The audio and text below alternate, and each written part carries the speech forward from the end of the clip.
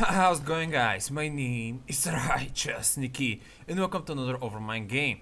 This is going to be one of those games that I didn't consider to be quite the best game to show you but I don't have any other footage for the moment. Uh, this I named an okay Greymane game. So we're going to be playing on Battlefield of Eternity. The Battlefield of Eternity is probably the only map, yeah the only map that I go Greymane actually because while Greymane is pretty decent in general trading, uh, his full potential can be unleashed on doing a lot of single target DPS for someone like the Immortals. So I think he's a pretty, as some meta players would say, top tier for this map particularly. Though Greymane in general isn't a top tier pick. I actually don't I have no idea what are the top tier picks. I don't followed up. I would assume Ragnaros is a top tier pick, but yeah, generally I don't keep track of uh, the meta things. I just play what I like. And Battlefield of Eternity, yeah, I'm going to skip here a bit because eh, he banned seven. Alright, I'm gonna skip. Um. So, ooh, Stitches here. Mark on Stitches, that's pretty interesting. What is our teammate going to ban? Have no idea. Uh, Vawa, yeah, Vawa is another very con very contestant uh, DPS for the Immortal race. I would probably say that Greymane and Vawa are the top two uh, as dealing DPS. I would actually say that level 10 Gazlowe is probably the best, but it's very hard to make that work, of course. And also Hammer is also a pretty nice choice for Immortal racing. Artanis with uh, level 1 talent as well is a pretty nice choice. Um, what else? I wouldn't say Tychus, nah, Tychus isn't very good for Immortal Racing. Well, Illidan is a pretty decent choice, I guess, N though not the fastest. Uh, I wouldn't suggest really Illidan for this map, to be honest. I mean, the hunt could kinda work, but generally no. Um, Zero 2 without attack build is pretty decent for immortal damage, but still, wouldn't suggest it. Uh, we're going to ban our Artanis and they're going to take the Vara, yeah. Vawa's a pretty solid pick. I've been actually playing a lot of Vawa and Sonya recently. Uh, they've been... They, I, am just pretty comfortable with them, especially with Sonya. I don't know why most people uh, pick Sonya with the Berserker ulti, when I think the Leap gives so much value, man. Like, I wouldn't... I, I don't understand why would you choose a bit more damage uh, for a hard CC engage, like the leap gives you so much potential that the Berserker doesn't. Uh, but that's just my opinion. Alright, we're going to get Dehaka and Ragnaros, two very solid picks. Dehaka is pretty good for this map because if he goes Dehaka top, he can roam to the middle at any point, which is pretty strong. We're going to go Rehgar and Tyrande. Actually, I'm not really surprised by Tyrande because Tyrande is one of those picks that is actually pretty good for the Battlefield of Eternity. Like, the mark itself can give your team such a boost of DPS that even if you don't have the best DPSs to race, that Tyrande mark can change those things for you. And he's probably going for DPS Tyrande, which is perfectly fine. Uh, especially if you have a Rehgar to back you up. Me personally, I, I like to go DPS Tyrande as a soul support to be honest. It, it, it doesn't give that much healing as a normal support, but it's still pretty valuable. And I wouldn't want two supports uh, for uh, for team fighting in general. But Tyrande, Tyrande is pretty good, good choice for a Battlefield Eternity. Uh, so my teammates are asking here. Uh, yeah, I'm not going cocktail. Generally, the cocktail build is considered the meta build for uh, uh, but I go for auto attacks. And those 10 better auto attackers? Uh, I mean, they're taken, they have taken Vawa. I don't think Tychus is pretty good versus so many squishes. And the other good auto attacker that is my mind is Zul'jin, but yeah. They're gonna actually go for Aurak. That's a pretty interesting choice. 80 soul tank is fine. Kharazim is going to be our, our, support. Feel like we have too much melee, unfortunately. And Zarya wants to go for a bonus tank here. Hmm. Uh, Li-Ming? Yeah, Ragnar is kind of a off tanky, especially if you go for the Cure W. I mean Cure E build, so yeah, don't really want that many melee. Yeah, Li-Ming is a perfect choice here. I'm a bit afraid of the Avarak though. This doesn't allow me to go full engage. So let's see how this game is going to go. Um, so Ragnaros is going to go to the top. Interesting. Yeah, it's either going to be Ragnaros or Dehaka, and Ragnaros is actually pretty good versus uh, for one versus ones. He has some good regeneration, so uh, that's not a big surprise. Now, Greymane, actually, if you remember my previous game that I showed you with Greymane, auto attack build, generally want to be poking with auto attacks on a safe distance. Now, actually, I don't think I went for the bullet for this game. Oh, a nice catch on Valla there. Uh, we are also getting caught up though. I'm taking tons of damage, I'm going to die.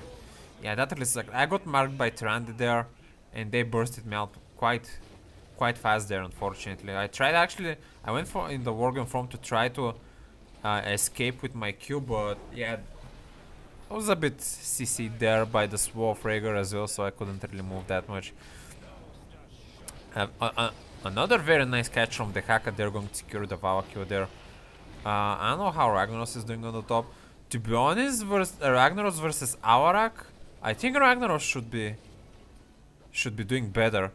While Avarak does have the better ranged poke, Ragnaros have the has the better sustaining push on the lane. Uh, so I would think that Ragnaros is a superior one versus one duelist than Avarak. Now the hacker is going to get caught there, unfortunately. Actually, so Ragnaros is retreating there. Seems like things aren't going very well for him. I mean, I don't know if if the uh, how was his name? Totally forgot. Totally went out of my mind. Not the Haka. Not the Haka. Not Leoric. Uh, not Abathur. Avarak. Yeah. Avarak. If Avarak actually gets some very nice combo with W and Q, actually he might zone Ragnaros pretty nicely. Um. Okay, seems our teams are um, te teams getting zone. I'm trying to do some damage on the side there. Trend is poking me a bit. Val seems pretty well, but our team seems to be done. going to change focus to Tyrande, but I don't really have that much damage uh, to trade with her, especially in ranged mode. Seems our teammates are dying, only me and Ragnaros left. Yeah, this isn't going very good. I see a Rehgar on the side here, maybe I can do some damage there, uh, though Avarak is sneaking around here. Man, this Ragnaros can die so easily to an Aura combo there. To be honest, me as well, but I dodged that combo very nicely there. Uh, I think... Oh, no, I guess not. I really actually need to defend. Oh, nice catch on Naurak there. I'm going to try to go aggressive, but I'm going to get stunned. ATC coming here. I'm taking quite a lot of bleeding there, actually. I'm going to start dealing damage to the Immortal. Now I went for Wolfheart of course, then I'm going to go for Insatio... Insa I don't know how to pronounce this word. It. Insatiable. It has to be like that. Or insati insati insatiable? I don't know. I don't know. uh, because I remember from Overwatch, Hanzo, the dragon is sated, so the word is pronounced pronounced sated. So insatiable? It has to be like that though. I remember that I've heard it somewhere before and I don't remember it pronounced like that. I know, you tell me. Um, Alright, we have the Immortal which is pretty great. Ragnaros is going to keep talking on the bottom there. Uh, me as a Greymane, I just really want to be auto-attacking with siege damage. Like, I could attack the closest person, which is the tank, but generally, I do want to push for that immortal damage for their keep there. Oh, I'm going to get stunned by uh, this guy and Rehgar engaging on me. Rehgar going very deep, he's going to get caught up. I'm actually throwing some very nice punches there, but that Rehgar is getting so much regeneration. We're going to be able to finish him. Pretty nice. The Immortal has fallen though. Uh, we did we did a pretty decent damage to be honest for a first Immortal. Usually with a first Immortal we would just kill the two towers at most. And we did some pretty nice 4 damage as well there. Maybe like 30%, so that's pretty cool. Um, yeah, Ragnaros is backing out. Seems Aurak is besting him, so that's not very cool. Now, at this point, if you have everyone soaking normally, you want to actually as a Greymane is start taking some camps. Like, uh, if I was me in this situation, I would go for the bottom camp. Yep. It's, it's very obvious because Greymane has very nice potential to clear when it comes to camps. He doesn't have the sustain, but when it comes to smaller camps, he has the speed to clear them very nicely. I went for the bonus attack range of my auto attacks. Arak here, uh, mining his positioning. It's 4 bottom, 4 top for now, so I decide to go defend, cause... Ooh.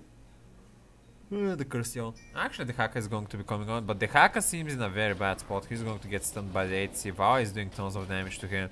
He's pretty stuck. Tyrande is stunned. He's healing a bit. He's actually sta the the stasis is pretty nice. He's going to get marked though, and then going to get burned down. Now Rehgar is in the same position as the Haka is going to get uh, deleted. I'm going to jump for the finish there on the Tyrande.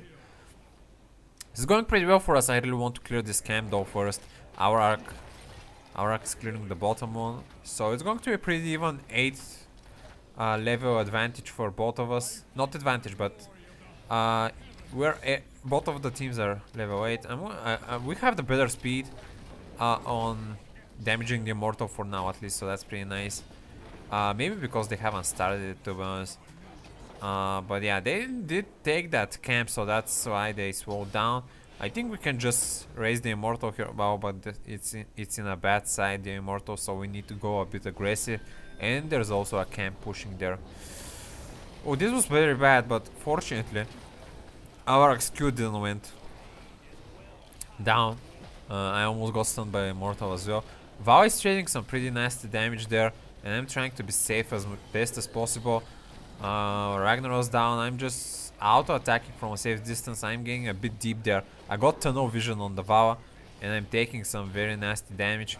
Uh, at this point, I'm going to continue auto-attack. I mean, oh, the Dehaka is marked though, he's taking quite the beating as well.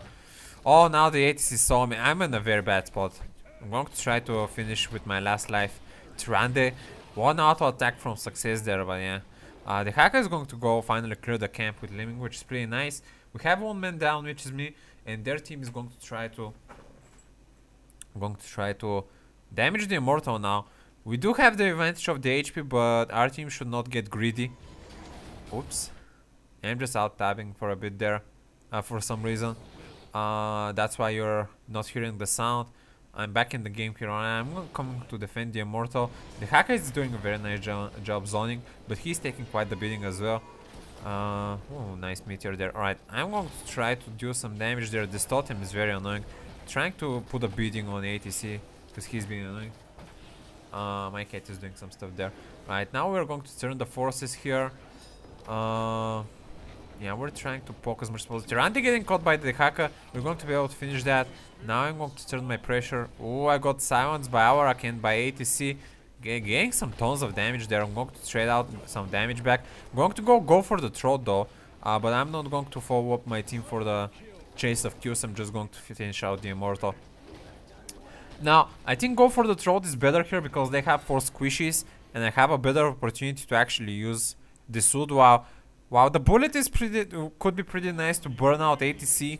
I think ATC is generally a decent tank with a decent mobility that can probably survive the bullet and is probably going to be smart enough to not be taking that bonus damage. So so I'm going to go for go for the throat. Generally it's an execution ulti if they're wall. It's pretty nice to have that if you want to go deep. Uh, now, the Starfall is actually really zoning us there, but we're going to return the fire now.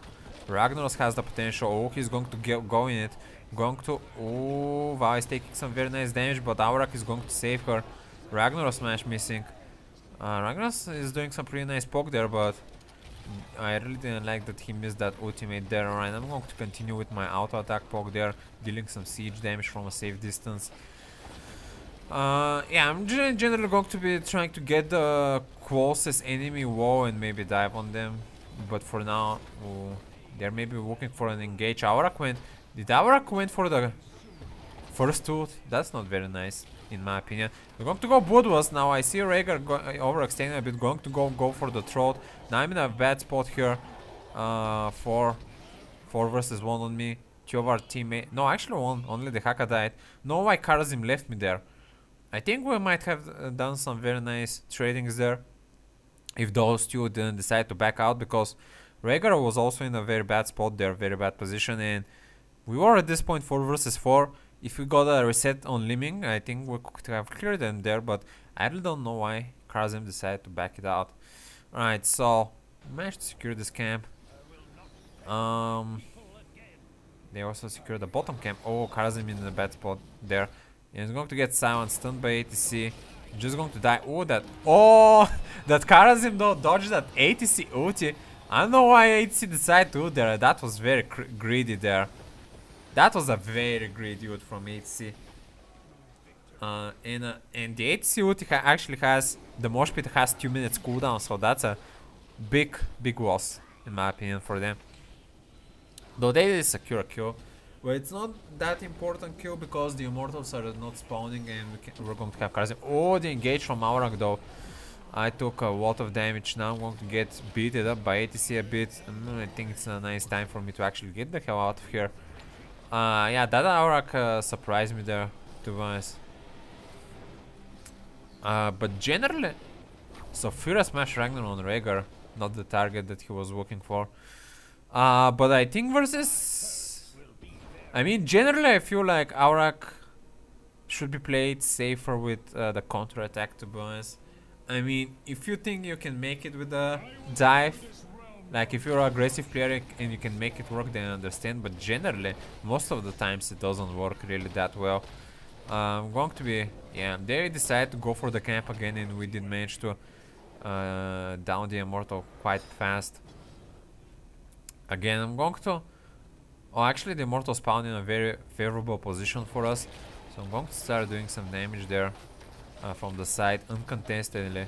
Oh no, no, no, no! Holy shit, did you saw that? So, I got stunned into the Immortal stun and then an Aurak dived me with his ultimate and silenced me and I think an ATC follow up with a stun. So, I just got deleted there with one more guy, so that's pretty unfortunate. Um, Valla trying to... Uh, not Li-Ming. ATC pushing the fort. Oh, the team might grab a Q on the Valla there. That's pretty close. Oh, was that Valla using actually a Gloom talent? I, I generally don't know how the animation is, but I saw that something blue popped up on the Valla. Which is either using an ability or popping a... Oh, Mosh Pit. Yeah, he's going to get burned with the mark. I'm going to get stunned there, but I think I'm going to survive for now. So they secure the Immortal. Rehgar is sucking there a bit. We're in a very bad position here. I mean, we're not generally losing, but we were having some very bad fights those past minutes, to be honest. Uh, otherwise, fort-wise, we are pretty equal. We actually have more HP on our fort. I'm just going to start dealing damage to the Immortal, though I should be a bit careful because Aurak might engage me pretty easily. I'm just going to try to be safe here. Oh boy the hacker getting caught and getting deleted there. Alright, they have 16.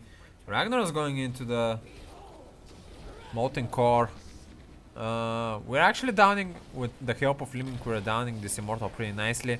Starfall going down. We're going to be able to finish it down, so that's pretty nice. Uh, at this point, we can just stay and poke, to be honest, like, uh, we're in a very losing situation at the moment. Actually, ATC could have engaged on me there pretty easily, but I guess he wasn't confident enough uh, near the fort. Uh, but generally, I'm just trying to trade and keep my combo up. As you can see, I have 22 hit combo. I generally want to be keeping the combo as much as possible because I have specting talents that give, let's see, one of those talents is movement speed. I'm going to try to dodge that Aurak engage like a boss there, but they're going to re-engage the Bloodlust. That movement speed helped me a lot to dodge the Aurak damage. Uh, now Aurak going a bit deep. Going to be doing some damage, throwing the cocktail there for some bonus damage. My ulti is up. I see a wall Rehgar going to try to engage, but the swap from Rehgar is not allowing me to do this. Alright, alright, alright. I'm going to... I'm not going to waste my ulti actually because Tyrande was an easy kill anyway.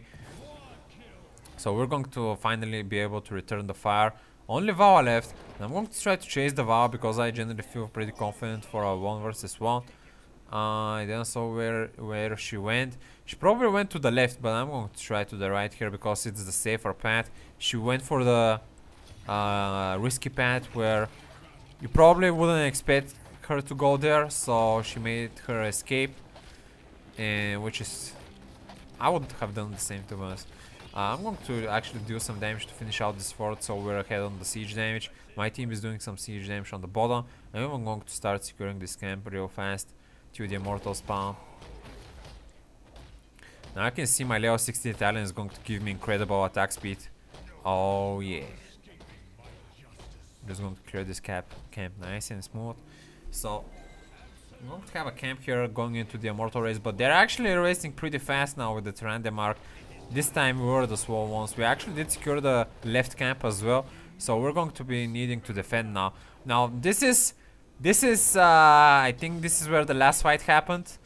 Uh, so basically their team is going to start attacking the Immortal. They're doing a lot of damage. Starfall going down. I'm going to try to go for an upper position, try to maybe get some of their weaker carries. They have vision on me because of the Trandao. I'm going to reposition. Uh, I'm wondering if I should attack or defend. I know, I know, because they're not forcing that much damage, but I'm going to... Uh, they're going into the Bloodlust, so that's not cool. Actually, this isn't the last fight, but I'm going to go help Li-Ming there. Oh, she's going to get deleted. And I'm going keeping the damage on Rehgar, which is going to be very nice. I went and go for the Throat, and our team actually managed to clear their team, so I'm going to start doing damage on the Immortal. Uh, a lot of trading back and forth, but we have left the hack up, so that's pretty nice. We have two camps uh, pushing very nicely on a fourth down, and I'm just going to solo secure this Immortal. Um, nice and easy. The hack is going to do some split pushing there, so this is going to be going very nice for us. See that attack speed? That's why uh, is top tier for this map, man, because he just burns the Immortal so Like 400 damage with such a good attack speed is insane. Uh, so, this actually wasn't the last fight. Uh, there's one big fight coming ahead. Actually two probably because the Immortal hasn't died because I remember how this game ends and it's not the end yet. Uh, but uh, oh, the hacker grabbing HC, they're living coming. Yeah, that's not gonna be enough. Now here the problem is that I think the problem here was because that someone got caught before Kharazim went. Uh, no, Li-Ming got caught. Something went went terribly bad here, and I don't remember what was it. Uh, Tryndamere actually helping for the Immortal quite a lot there. They're burning down the Immortal quite nicely. Starfall doing some very annoying damage. Aurak, oh, Aurak is going to get me. Fuck. I'm trying to escape. Oh, I jump. No, Aurak. Oh, we are getting combos from every side there. The Ragnaros Smash also missing. We're going to be able to secure every single fort here, which is pretty nice, but yeah. We now have 50 seconds dead timer. They're probably going to try to backdoor something. Basically, everyone from us got this position there and got owned. First it was me by Aurak, but then uh, glorious Uti landed. I think it got three people. I know I actually jumped on ATC. I think it was a instinct maneuver for me to escape Aurak, but I forgot that ATC was in the mosh pit. Now we have 20 seconds left. We got level 20. They actually do have time to deal some damage, but the Haka is still roaming around here. They don't seem very confident. Maybe they just don't want to overpush it at the moment. Especially uh, with the two lines being pushed with catapults, Rehgar is going to go back. Right, I went for the Blunderbuss talent. I think, in my opinion, this is a better uh, talent than any of the upgrades. Even the go for the throat upgrade, though, though the go for the throat upgrade does give you a very nice damage increase. After an execution, I think the Blunderbuss is a more sustainable talent choice because it gives you consistent damage while go for the throat is very situational. You might actually not even have the opportunity to use it. I think just having two two stacks of go for the throat is enough and I do want the extra damage. Now this is where the last fight was going to happen.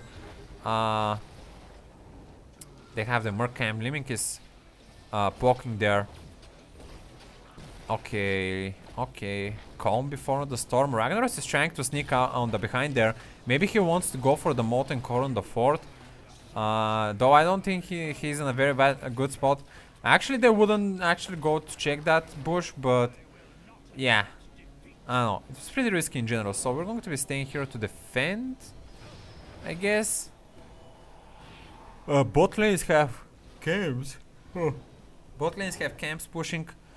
Uh, I know, I think it's going to be better for me to stay with the team. The other camps are pretty low there, so I think I can finish them out uh, generally fast. Especially at least the two Merc ones.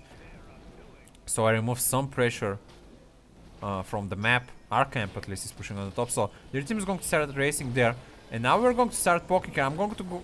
Oh, going down. Nice pickup on, on Tyrande there. Uh, she's going to get cleansed. So I'm going to try to maybe re-engage on the Tyrande on the side. I'm going to try to do the AC going with the stun, Tyrande missing the stun. Ragnaros smash! I'm going to go, go for the throw two times, three times.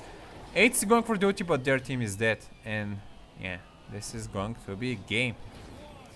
Now that happened pretty fast. This is probably the reason why I wanted to show this video, because of this last fight. Uh, it, it really wasn't very mind-blowing, just some very fast things happening. I thought it was generally pretty beautiful, so yeah, it's something. Uh, so we're just going to finish out the core. I really like, uh, I actually got caught up there, but I really liked our team reaction, especially that Ragnaros Smash was on point there. And I did manage to pick one two kills there until that ATC ulti landed and Limik also got some resets, so that was pretty nice. MVP is going to be on the Haka. 44% immortal damage, excellent. Uh, did I get upvote to anyone? The Haka maybe? Myself? No one. No one deserves, not even me. Alright, this is going to be everything from me from uh, today guys, so thank you for watching. Until next time, stay righteous. Especially to be trading in tanks, I'm not going to have any problem with that.